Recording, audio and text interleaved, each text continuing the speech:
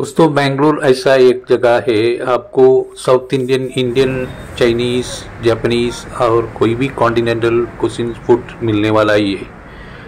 ऐसा जगह का इम्पोर्टेंस क्या है, आपको ये जो स्ट्रीट में देखेंगे तो सब डेकोरेशन करके, एकदम गार्डनिंग करके अरेंज किया, जो होटल्स बड़ा या छोटा रेस्टोरेंट्स वगैरह आराम से खाने के लिए मिलते ही है। स्ट्रीट फ़ूड खाने के लिए भी एम्बियंस बहुत बढ़िया ही है। यहाँ पे ये सिटी में बेंगलुरु में यहाँ के वेरी वेरी स्पेशली बोल सकते हैं, ये जो चीज़, देखिए।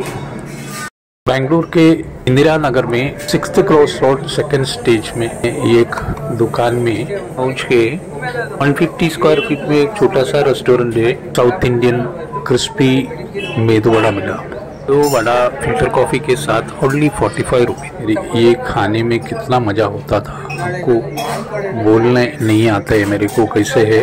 इतना क्रिस्पी मेदू वड़ा जो मैं कभी खाया ही नहीं और क्रिस्पी ऐसा ही बाहर से और आप खाने में एकदम सॉफ्ट ही है। आइए, हम खा के देखेंगे ये जो बताऊँगा मैं कैसे है।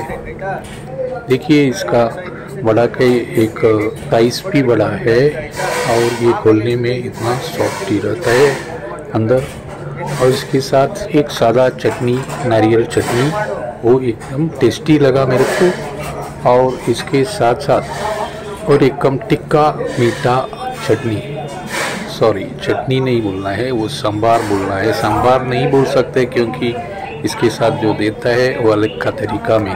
वो भी टेस्टी लगा। मैं यहाँ के बहुत सारे रेस्टोरेंट से ऐसा फ़ूड खाया हो। ये स्पेशल है।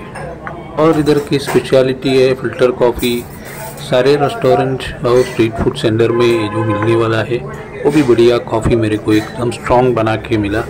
मैं वो भी पी लिया। बहुत बढ़िया कॉफ़ी है। और स्पेशल कॉफ़ी चलिए पी लेंगे। तो बस इतना ही है और अगले खबर के साथ मैं आऊँगा। तब तक गुड बाय। Oh.